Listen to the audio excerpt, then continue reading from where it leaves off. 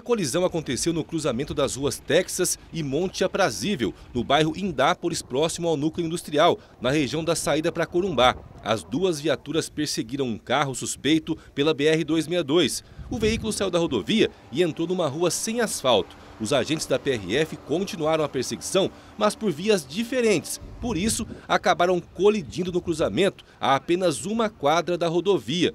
A frente de uma das viaturas e a lateral da outra ficaram destruídas. Depois do impacto inicial, um dos veículos oficiais bateu num poste de energia, que caiu e deixou a região toda sem abastecimento. E por conta das faíscas da rede elétrica, a vegetação de um grande terreno baldio pegou fogo e quase atingiu uma casa bombeiros tiveram de ser acionados para controlar as chamas. Um morador próximo conta como tudo aconteceu. A viatura vinha no sentido dessa rua, outra vinha da rodovia, bateram de frente e bateu no poste. Teve gente ferida?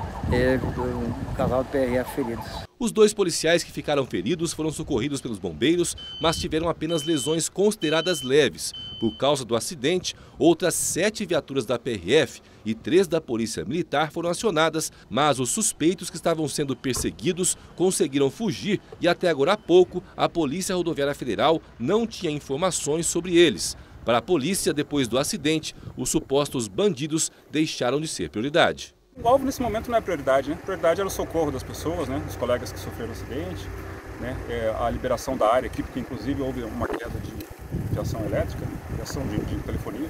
Então essa aqui é a preocupação nossa agora. Né? O alvo depois a gente vai atrás.